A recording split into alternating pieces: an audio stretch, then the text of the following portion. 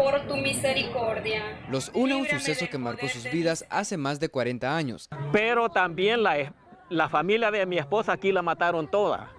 Allí chocó la tropa que venía Zumpul arriba con el, con el grupo de gente que iba rumbo Zumpul abajo buscando el puente Amaca y allí los masacraron a todos. La masacre del Zumpul ocurrió entre el 13 y 14 de mayo de 1980. Murieron más de 600 personas durante un operativo que incluyó a soldados salvadoreños, hondureños y miembros de la entonces Guardia Nacional, según recopiló la Comisión de la Verdad de las Naciones Unidas. En esa época el gobierno consideraba que la zona servía como base y refugio para las entonces guerrillas.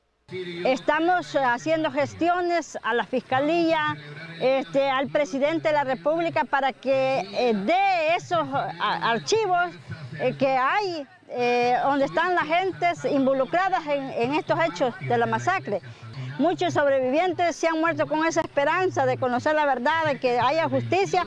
Piden que el Estado pueda garantizar una pensión y brinde atención necesaria para los sobrevivientes. Para Teleprensa Canal 33, Jonathan Vázquez.